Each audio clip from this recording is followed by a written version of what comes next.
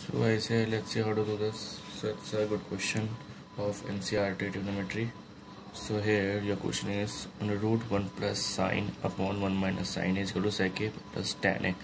So taking LHS as you can see here uh, 1 plus sine a 1 minus sine a into and we're going to rationalize this so it should be your 1 plus sine a uh,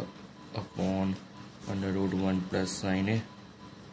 So here it should be your 1 plus sine square uh, sine a whole square under root. And here should be your 1 minus sine squared a under root. So here we can cancel this. So we got 1 plus sine a. Okay.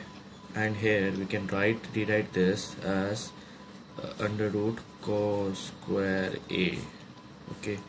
Now here what we can see this is this cancelled. So what we got we got 1 plus sine a okay upon cos a.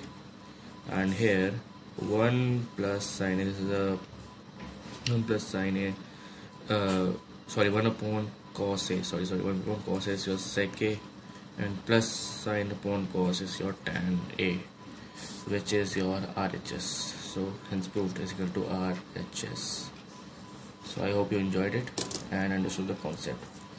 So yeah take care. Bye bye